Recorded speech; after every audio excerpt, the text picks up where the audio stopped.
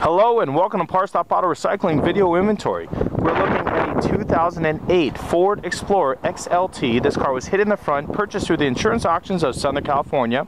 It's a 4.0 single overhead, production date 8 of 08. The car has 83,000 miles on the vehicle. It also has all four doors and it has a trunk lid rear bumper. We'll show you, it's a non-sensor type bumper, just for you guys to know there. Uh, there's the mileage God right there, 83,000 miles. And it does crank really good, but due to the accident, it doesn't start all the way, you know, but it does crank good. Has a six disc CD MP3 radio right there. Everything in working condition.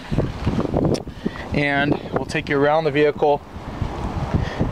For any additional information, it's got a beautiful rear clip right there. Painted upper and lower bumper. There's the two doors, no right quarter, and it has one steel wheel with a brand new tire.